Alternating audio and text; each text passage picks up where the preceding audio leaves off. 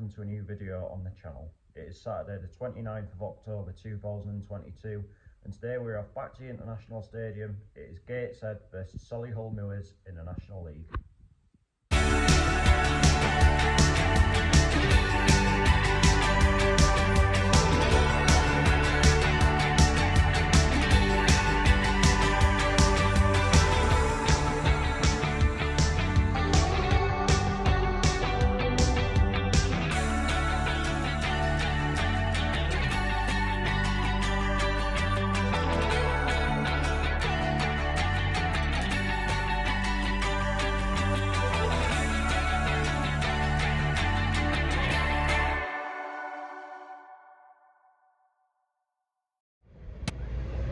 So Herman said, and uh, as you can see I ended up getting the bus up here today and I'll tell you why uh, it wouldn't be a Gateshead video if I didn't have a rant about the public transport anymore would it um, but what happened today was I was at uh, the train station uh, the train said it was going to be delayed by about 10 minutes or so. Uh, frustrating but not the end of the world but anyway it pulled in uh, it's just sped past absolutely everyone. Uh, you were thinking at that point, oh, they're gonna they're gonna join up with another train and sort of make a bigger one. Uh, but then it turned out it just went away and away and away, never came back.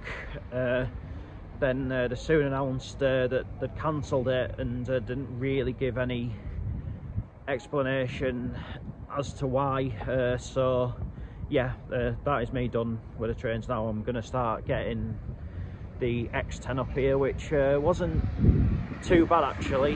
Uh, but anyway, uh, going to the football this afternoon, uh, I think we're going to have our work cut out if I'm totally honest with you. Uh, Solihull currently third in the league in great form just now uh, and uh, what is even more frustrating is like us up until a couple of weeks ago they couldn't keep a clean sheet for love nor money but now they've had three in a row so uh, yeah they're obviously now starting to get it right defensively. Uh, obviously they've got a very experienced manager in Neil Ardley uh, we're coming into it in 22nd uh, place after that extremely disappointing loss at Scunthorpe the other night. And this afternoon uh, Owen Bailey is still out uh, with his head injury from last weekend's game against Woking as well Greg Olley is going to be suspended today as a result of picking up five yellow cards but uh, some good news on the injury front that uh, Kenton Richardson is back today and as well uh, there could be a first appearance for Lewis Knight who's had quite a lot of injury layoffs since he joined the club in the summer from Notts County. Um, so be interesting to see if he gets any game time today obviously uh, it's a bit different with him because he's not really played in a game situation for quite a long time but uh, you never know. This is the sort of game where historically uh, we maybe have shown up like I've often compared us to what Middlesbrough and Blackburn were like in the Premier League in, like, in like the early to mid 2000s where they'd uh, but I'd never really show up again in games against sides there against sides that are in and around them in the table. But when they played some of the bigger clubs that are expected to be up there they'd often put on a show and get a result. So uh, fingers crossed that can be the case for us today. Um, obviously uh, we, we held Notts County here we're held Boreham Wood here. Um, so and, as well weren't disastrous at the way of Wrexham either. No, we lost, but still. Uh, so yeah, it's going to be a very interesting game this today. Let's head to the International Stadium to find out how it all unfolds. So the team's warming up for Solihull, getting ready just down there. Looks as though they're going to be in a change strip this afternoon. Usually they're playing yellow, but it looks like they could be in red this afternoon. Uh, as for Gateshead, we're getting ready just down here. Of course, going to be in the home strip.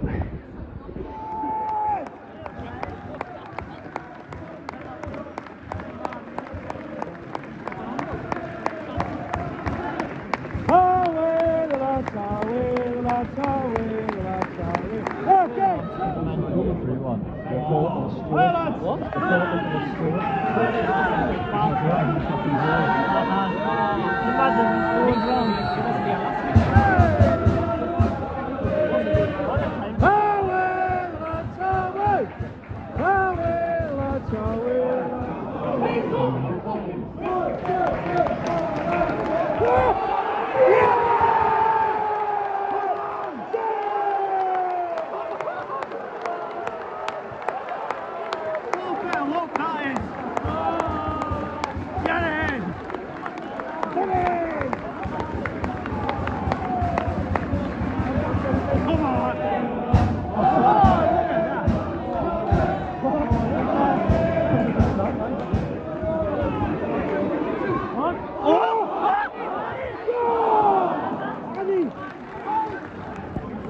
Yep.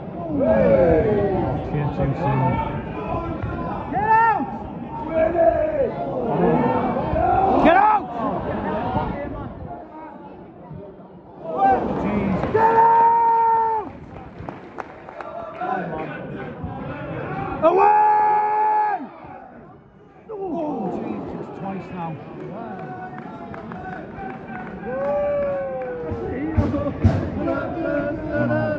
Superhero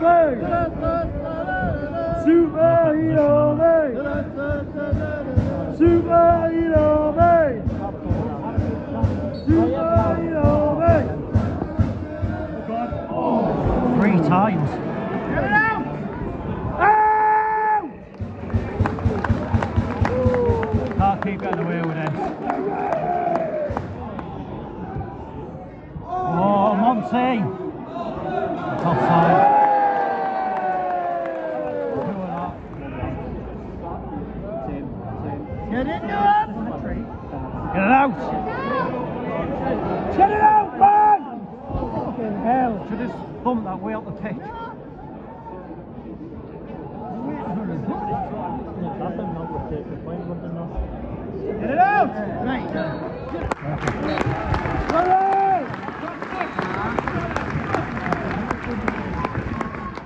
Time gets at one, Solihull Moors nil. I don't know how, but it is. Um, it's uh, honestly, I cannot remember us ever having that much luck in one half of football. I mean, it was an absolute calamity of an own goal. I mean, I only got it rolling into the back of the net, but um, basically, uh, Solihull players played it back to his keeper. He's uh, put his, his foot over the ball, and it's just rolled over and uh, uh, sped off into the uh, bottom corner. Uh, it's absolute calamity moment for him, and uh, yeah, and as well, Liv obviously hit the woodwork three times. Uh, he's sitting there wondering, is it either going to be eventually something's going to have to give, or is it going to be a case of when it's your day, it really is your day. Um, we'll soon find out, but yeah, uh, like I mean, you can see the threat Solihull have, and uh, you can guarantee that they'll uh, they'll not give up on it. it's just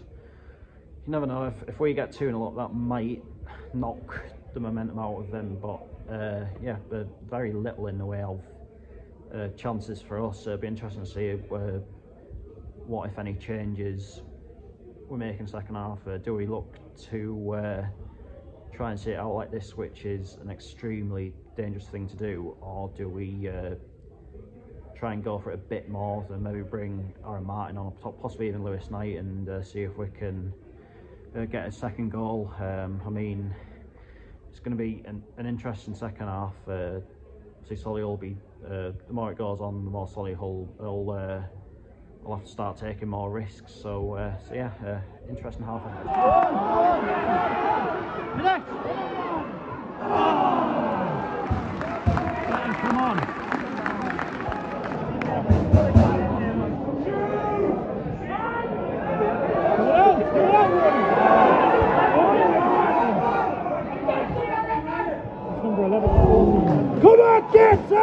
Come! Can't away with it like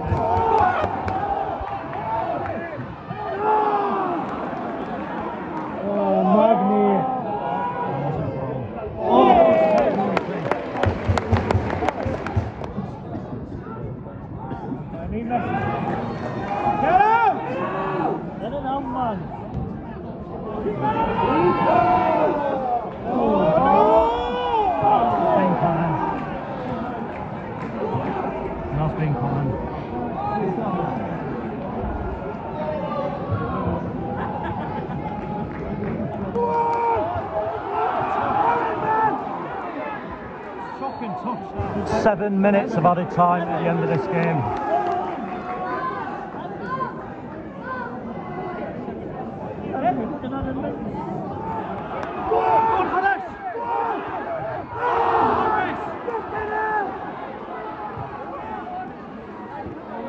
Keep it down. Get it out, get it out. Get it out!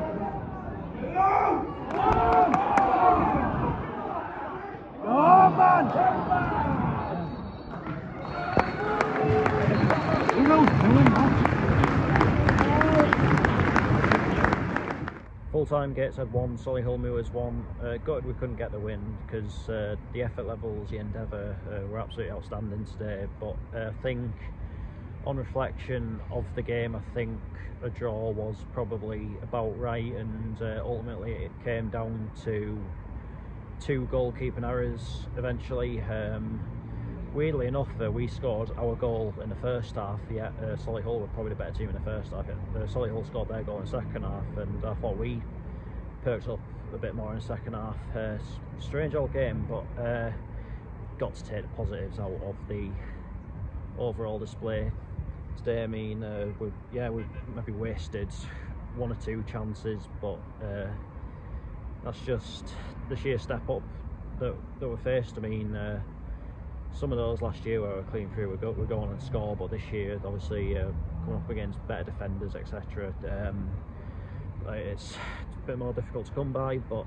uh, I say, if we take these positives forward and uh, can apply some of the things we did right today in other matches, then uh, hopefully before long uh, a few more wins are going to come. Uh, I mean, it's going to be very difficult. Um, obviously, as we're as we're finding out, it is a very inconsistent league. That's now Notts County, Bournemouth, and Solihull now that are all expected to be up there by the end of the season and come to the international stadium and not won. So uh, yeah, uh, it's just frustrating a bit because uh, obviously uh, I think what I was most annoyed about after the Woking game and the uh, Scunthorpe game is that I know damn fine that we can do better and uh, we showed it there. Uh, I mean, don't get me wrong, I think uh, one or two players slowly coming back from injury is helping. I think uh, you could see how much sort of more confident we were defensively today with uh, Kenton Richardson back in the side. I thought he was absolutely terrific today. Um, and I've got to say, uh, but for the error that led to the goal, I thought uh, defensively we did play pretty well today. Um, I think overall we played okay. Um, it's just, as I say, a bit disappointing that we couldn't hold out, but uh, but no time to wallow in it. We've just got to dust ourselves down and move on to what is a very difficult week coming up. Uh, firstly, away to Chesterfield, then uh, next Saturday at home to Stevenage in the Cup. But, uh, but yeah, uh, I may go to bed tonight relatively hate free. But that is that for this video, and I'll be back on Tuesday night with that Chesterfield versus Gateshead game. So until then, take care, and I'll see you later.